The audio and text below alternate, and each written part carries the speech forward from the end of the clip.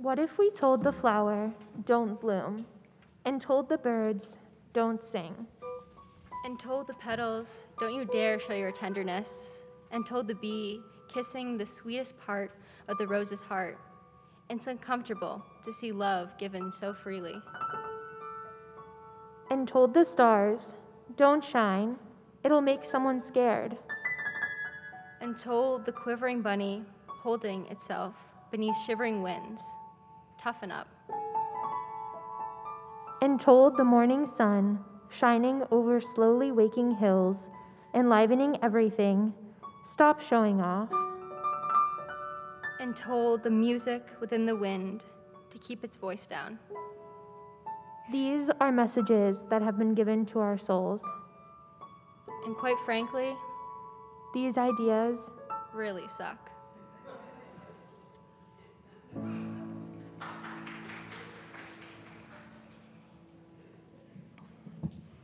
I thought you'd enjoy that.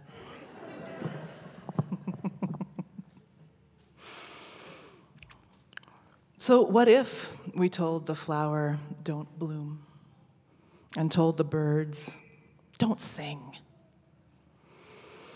We were getting ready for our third grade concert.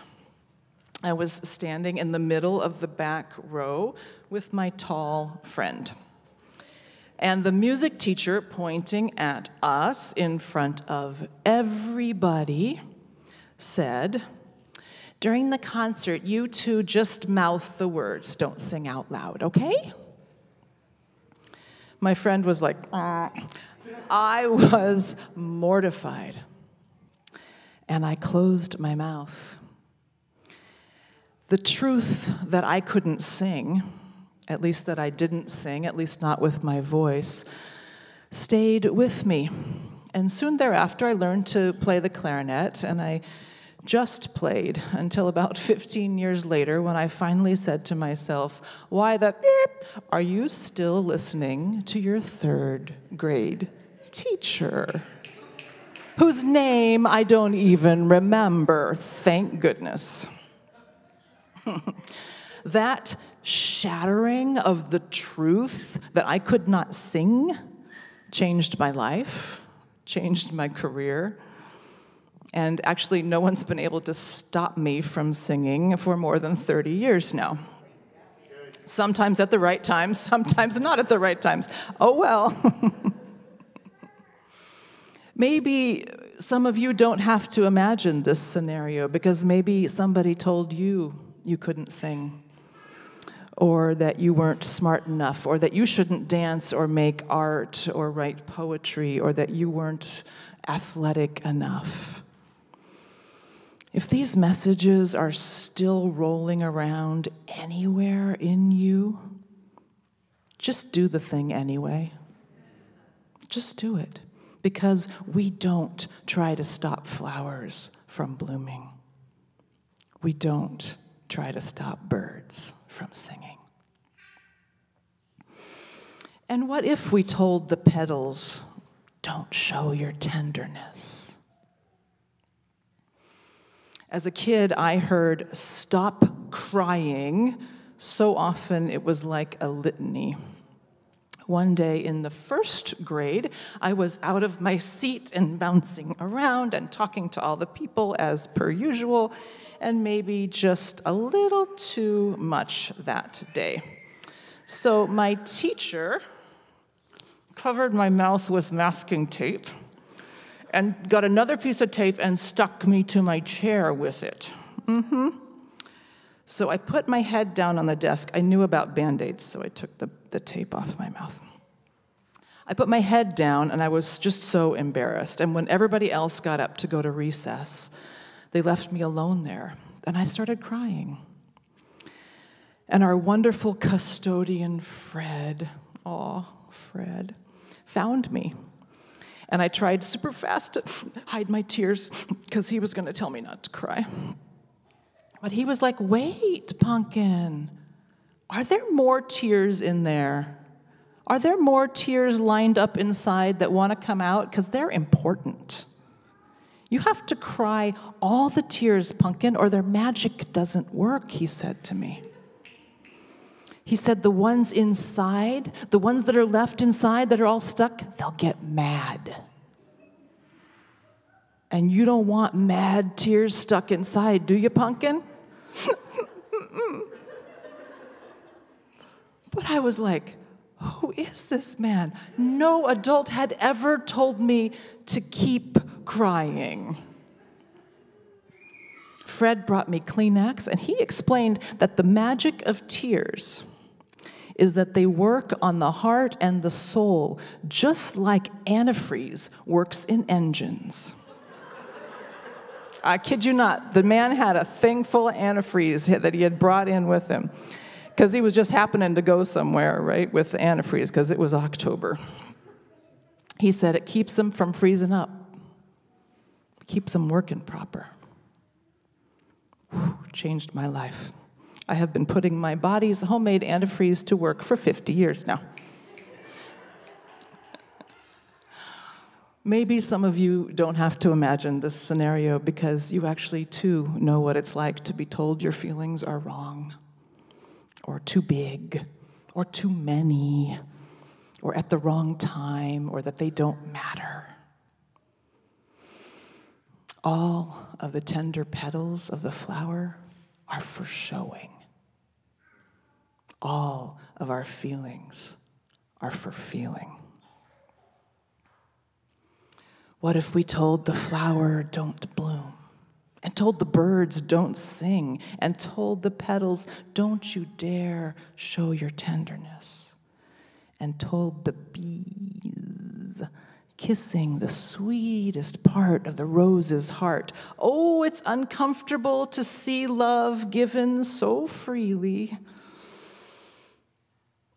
Although many, many nights a week through seventh grade, eighth grade, probably ninth grade, I called the radio station in my teeny tiny Nebraska town requesting to dedicate Kenny Rogers' song Lady to my beautiful debate coach, Kathy. I kid you not.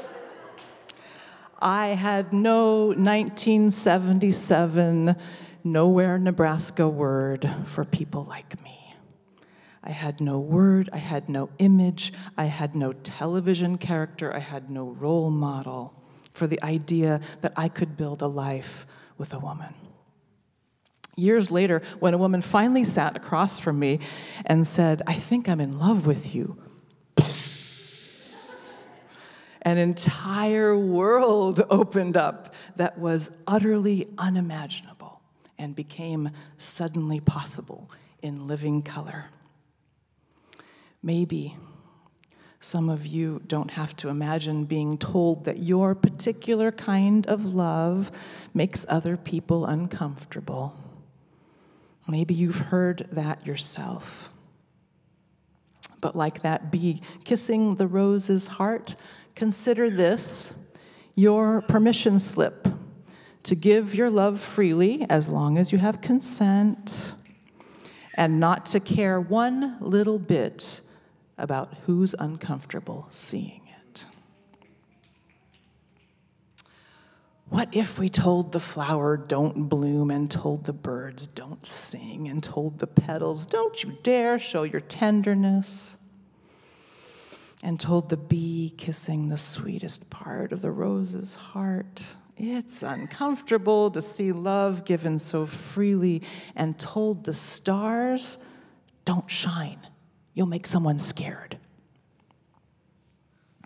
So, you know that experience of putting clothes on that just don't fit? Like maybe they're too small or they're too big or they just feel wrong, and no matter what you do, they just don't fit. You feel weird in them, right? You don't feel like yourself. It's uncomfortable. So for me, it was an outfit that was just way too small. And while I could wear it, it was painful and it rubbed the wrong way and it often left me raw and irritated. And when I met people, I'd think, yeah, don't look at me. This isn't actually who I am. This is not what I'm supposed to be wearing, no matter what I was wearing. So that feeling, right? Imagine being told then, you have to wear this for every day for the rest of your life. This is what you were assigned. And when, you know, when there's no other outfit to wear, we do everything we can to wear the one we were given because naked is not an option. At least not for me. I come from Nebraska, I told you this. Ah, and some of you don't have to imagine. Some of you have lived a similar story. Because the part of it's part of what it felt like for me to check that box female. And I did what I could with it for a long time. And I bow in deep gratitude to the very much younger than I am, gender non binary pioneers who came before me, who helped me figure out that I could do the work to take that damn outfit off and I could shine. You have felt them too, these messages that injured your soul. Messages that slowed your creativity or your spark, that dampened the energy of your love that saddled you with jobs and roles and scripts that didn't fit. Messages that told you you're this and not that. And those messages really do suck, and they hurt. And I'm sorry that you've been hurt in this way too. The pain deserves our tender witness and our attention, and we can offer that to each other. I also know that you too are making your way toward opening and shining and loving. Because actually, it turned out that trying to stop you from being yourself was kind of like trying to stop the sun from rising, trying to stop the rain from falling. May we all find people with whom we can sing, show our tenderness, give our love freely, shine, be vulnerable enliven everything, and raise our voices. And keep masking tape off people's bodies. Amen.